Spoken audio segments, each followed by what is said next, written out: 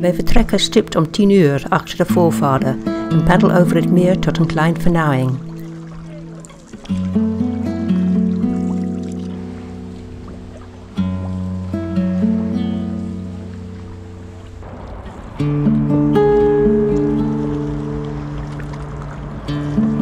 Daar is een koord, makkelijke overdraging. Dit brengt ons in het Weerse, een magnifieke klein, bochtig rivier met een beetje stroom.